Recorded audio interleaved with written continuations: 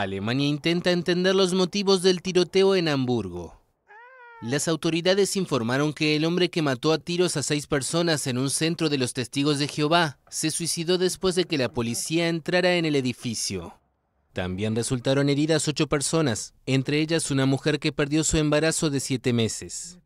De acuerdo con la policía, el atacante era un exmiembro de esta comunidad a la que abandonó hace un año y medio.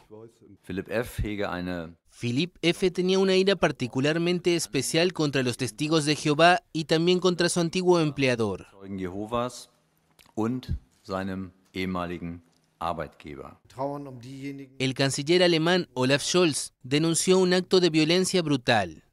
Mientras tanto, la comunidad de los testigos de Jehová dijo estar profundamente entristecida por la terrible matanza.